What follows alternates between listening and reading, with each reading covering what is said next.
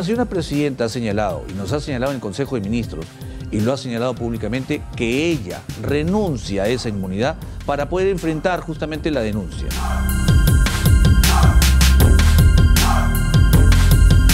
Desmiento categóricamente esa situación. No sé cuál ha sido la fuente del ministro. El ministro de Justicia es el asesor jurídico de los actos de gobierno del presidente de la, de la República, ¿no?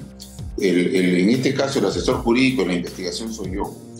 Entonces creo que, lo que hubiera correspondido es probablemente yo conocer antes que él mismo de esta decisión por lo que entiendo, probablemente haya sido una mala interpretación